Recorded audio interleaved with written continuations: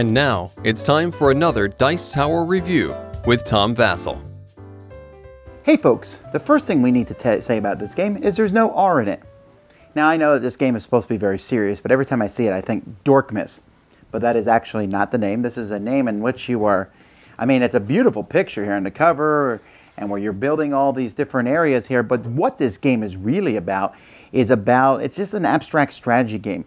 You are kind of forming pieces. You have these little triangle camp pieces that you're going to be placing all around the board on different spots. But these boards can rotate, they can slide, they can move. It's a three dimensional, 360 degree, not really, but it feels like that almost to some degree world. And you are trying to score points. Um, well, let me show you.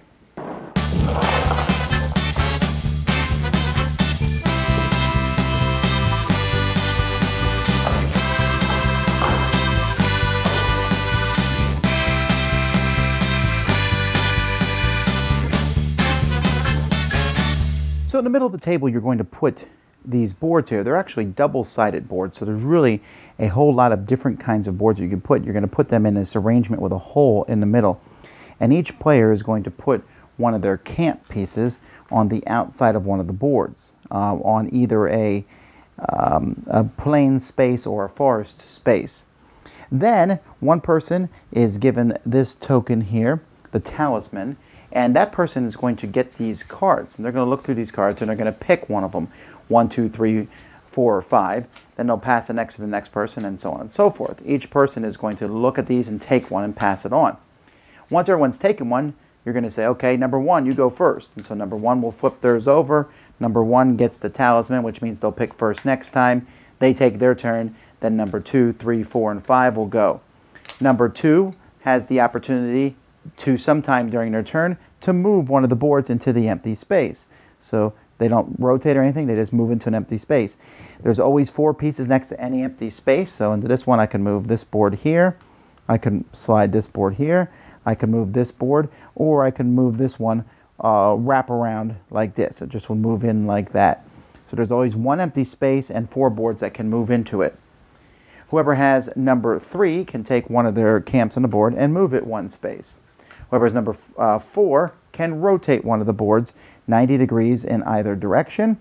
And then whoever has uh, number five can do any of those things. They can move, they can rotate, or they can move a piece. Now, on a player's turn, besides that action if they have any, they're going to place three of these tents on the board. Now when you place tents on the board, you're going to place them normally next to where one of your other pieces is. So I could place one here, I could place one in trees, but if I place one in trees, I have to sacrifice a piece, and one of my three pieces that I have that turn. Once you're in trees, you can place next to trees and you're fine. If there's temples here, there's red temples and yellow temples. When you're next to a temple, you're able, you, you're not allowed to place on a temple, but you can go through a temple to another spot. So even if temples are next to each other, which would happen basically from the board rotating and such, you'll be able to go through maybe multiple temples.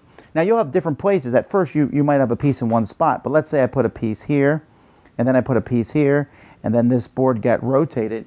You can see that my places that I can put pieces is now going to expand into different places. You can never go onto a mountain. You can go on a volcano, but after the turn is over, any piece in a volcano is gone. So you would simply go on a volcano just to get somewhere else. You can also go through water. I can go, go all the way up to here, but you have to sacrifice one of your pieces to do so. And that's pretty much the whole game. The only other rule is when you land on one of these ancient places here, when you land on one of those, you can take one of the actions immediately that's on the cards, where you can rotate a board, slide a board, or move one of your pieces one space. Now, at the end of the game, the game is going to be eight turns, so you have 24 pieces that you'll put out. We're going to look over here and we're going to score pieces. Uh, whoever has the most sacrifice pieces is going to get some bonus points, depending on how many players are in the game, and whoever has the most, like for example, in a four-player game, whoever sacrificed the most points is going to get five points. Players are also going to get points for being next to temples. If you're next to one of these yellow temples, you get three points. If you're next to um, the small red temples, those are worth two points. If you're next to a temple every temple on a square. So, like for example, there's four temples here, and I'm next to all four of those temples. Then you're going to get a bonus of eight points. And then you're going to look at all the tiles in the game, and there's eight tiles, and you're going to get points based on how many on how many of those tiles you are next to at least one temple. And that number is here. So you can see that if you're on seven tiles next to a temple, you get 22 points. And each of the ruins, the ones that let you rotate and stuff, those are also worth one point. Whoever has the most points is the winner. Well, okay. That's a pretty fun game. It really is. And let me tell you why I like it so much. Apparently, because I can't hold a piece in my hand. But anyway, I like this game because the theme here is negligible. I mean, we're not going to really be, oh, I'm building heads. Okay, whatever. Take that out of it. It's just an abstract strategy game. But it works really well. Now, you play with a slightly smaller board if you're playing with two players.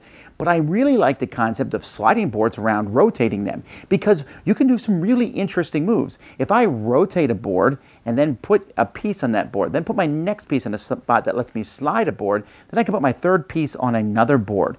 That's a really neat idea. I like the taking the cards aspect. I sit there and go, do I want to go first? Because going first can be a big deal because someone else might be trying to block you off. They might try to surround all the temples, uh, all the sides of a temple on one island just to stop you from getting the island bonus on that island, or maybe just to stop you from getting to any island. They can cut you off.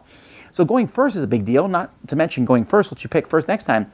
However, I might really want to slide a tile or rotate a tile or move a piece. And the different kinds of terrain are pretty easy. I mean, basically, green is good. Then after that, forest and volcanoes and water all kill a piece. So you're, you're careful not to put too many in those, but at the same time, nothing wrong with killing a few pieces that you might not need because at the end of the game, you're going to get points for having the most sacrificed pieces. It's not that impressive looking of a game, okay? Let's be honest. So you look at it and you're like, eh, looks okay, all right? But it really reminds me a little bit of Through the Desert, which is an granted a much cooler looking game from Reiner Knizia where you're you're putting strings of camels around. This has a different feel, but you're growing like this this line of things. But interestingly enough about this game, that line's gonna jump and as you rotate and move, like I personally like to try to go and get guy on all eights on eight boards, which is not that hard, but it's also not that easy either. You got to try to figure out how to do it. But so you could try to concentrate and get all the temples on one board, then all the temples on the next board, and that can get you a lot of points too. And you're also watching what the other players do. Sometimes you like have lines that are racing almost like a slow version of Tron. I was very impressed with this. It, it's, it's, a, it's, a, it's a lot of fun.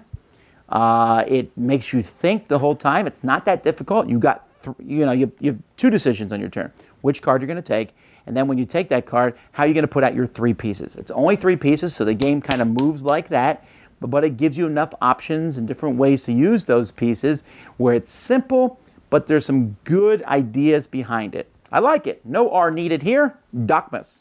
Dice Tower Judgment approved. Thanks so much for watching the Dice Tower videos. Find more great videos and reviews, as well as our top rated audio podcast at Dicetower.com.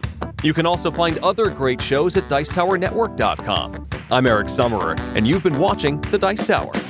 The Dice Tower is sponsored by Cool Stuff Inc., where you can find great games for great prices. Cool stuff in stock. Check them out at CoolStuffInc.com. Shut the door. There. There.